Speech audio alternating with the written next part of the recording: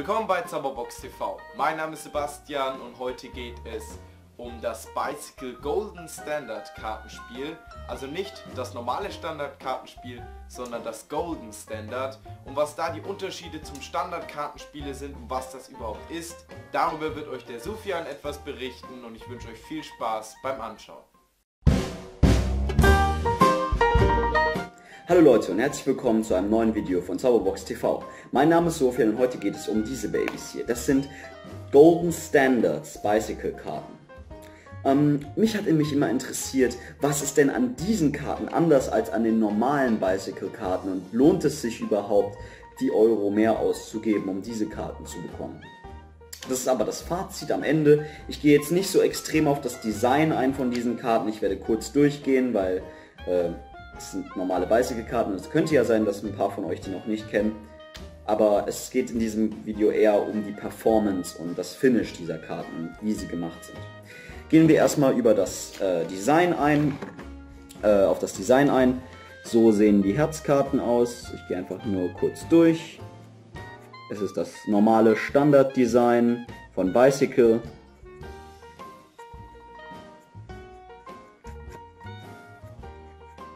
Kommt natürlich auch in New Deck Order. Das ist jetzt allerdings das normale Bicycle Deck. Ich zeige euch gleich auch nochmal das Golden Standard Deck. Allerdings ändert sich vom... Das sind die beiden Joker für die Leute, die es interessiert. So sieht das Back-Design aus. Sehr klassisch, halt Bicycle. So. So viel zu den Standardkarten. Kommen wir kurz zu den anderen Karten. Die sehen, wie ihr seht, ganz genau gleich aus. Okay. So sehen die Joker aus für die Leute, die es interessiert. Das Einzige, was an denen anders ist, ist nämlich gar nichts. Sie sind nämlich genau identisch. Was sie besser macht für Magie, logischerweise. Weil es immer besser ist, identische Joker zu haben. So viel zum Backdesign und zum Design an sich. Jetzt geht es in diesem Fall eher darum, was ist anders an diesen Karten als an den normalen Karten. So, so viel ich weiß, wurde dieses Deck von Richard Turner produziert und gedruckt, also die Idee davon kommt von ihm. Es sind im Prinzip B-Stock-Karten, die aber Bicycle-mäßig bedruckt sind, wenn ihr die Marke B kennt. Die haben einen etwas dickeren Stock als diese Karten. Zum Beispiel habe ich mal einen Blindtest mit, meinem, mit einem Freund von mir gemacht und er hat mir eine Karte von einem normalen Deck gegeben und eine von denen und du merkst den Unterschied in der Dicke. Was diese Dicke natürlich auch anders oder was sie natürlich besser macht, ist für Kartenmagier zum Beispiel, ist, dass sie sehr viel länger halten. Dieses Deck, das habe ich jetzt schon seit circa zwei Jahren und es, es läuft immer noch so, als wäre es brandneu. Es ist sehr gut eingearbeitet, das Deck funktioniert super, ich bin super zufrieden mit diesem Deck. Und dieses Deck ist auch sehr gut für ähm, für Pharaoh Shuffles und Greek Deals, was eigentlich nur ein Second Deal von unten ist, ähm, direkt aus der Box. Also ihr könnt, da diese Karten traditionell geschnitten sind, da steht es Traditionally Cut, was das im Prinzip ist, es ist einfach eine andere Schneidetechnik, ähm, was die Ecken ein bisschen smoother macht, was dann eben äh, einfacher oder besser, besser für einen Pharaoh Shuffle macht.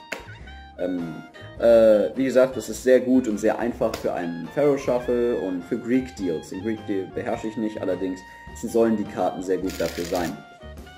Äh, die Karten an sich haben, wie gesagt, ein etwas dickeres Material als die Bicycle-Karten, als die Standard-Bicycle-Karten. Die Standard-Bicycle-Karten haben nicht ihr hört vielleicht den Unterschied, okay, da denkt ihr jetzt vielleicht, das ist ein Fanatiker, der den Unterschied hört, aber es ist ein Unterschied zu fühlen und zu hören und diese Karten halten auch nicht ganz so lange wie diese Karten. Ähm, so viel erstmal dazu zum Handling. Ähm, ich kann jetzt natürlich nicht ein neues Deck aufmachen und euch zeigen, wie die Karten im Unterschied sind, aber ich kann sagen, dieses Deck direkt aus der Box ist Wahnsinn. Also als ich das das erste Mal aufgemacht hatte und ähm, wirklich direkt aus der Box versucht hat, einen Pharaoh Shuffle zu machen, ich hatte gar keine Probleme. Ähm, das ist ein sehr tolles Deck, es ist trotzdem Standarddesign und in meinen Augen lohnt es sich, die extra Euros auszugeben, um ein paar von denen zu haben. Zum Beispiel, wenn ihr Auftritte habt, habt ihr hiermit erstens ein sehr gutes Finish. Es ist einfach nur, glaube ich, das Air Cushion Finish. Logisch bei Bicycle-Karten, bei USPCC. Air Cushion Finish, gute Qualität, die Karten werden lange halten und sie verknicken nicht so leicht. Ähm, sie werden euch einen verdammt guten Dienst erweisen und auch wenn ihr vielleicht Karten verschwendet während eines Auftritts, ihr könnt einfach ein Deck nehmen, es brandneu aufmachen, ihr müsst es nicht äh, einarbeiten und ihr könnt es direkt benutzen. Das ist der Vorteil an diesem Kartenspiel und auch denke ich das, was es für mich persönlich lohnt, diese Karten auch für meinen Auftritt zu benutzen. Einfach damit ich ein besseres Handling habe und nicht so viel Zeit darauf verwenden muss, mehrere Decks einzuarbeiten, damit ich sie zum Beispiel als Refills benutzen kann.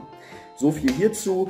Ähm, wie funktioniert das in der Performance-Tauglichkeit? Ich würde definitiv sagen, die sind sehr gut für Magier geeignet, da sie, wie gesagt, zwei identische Joker haben, was immer sehr gut ist für Magier. Das klassische Bicycle-Design, ihr könnt euch auch die Karten marken hinten drauf, auch mit dem klassischen Marking-Design von äh, Bicycle. Gibt da eine sehr schöne Möglichkeit.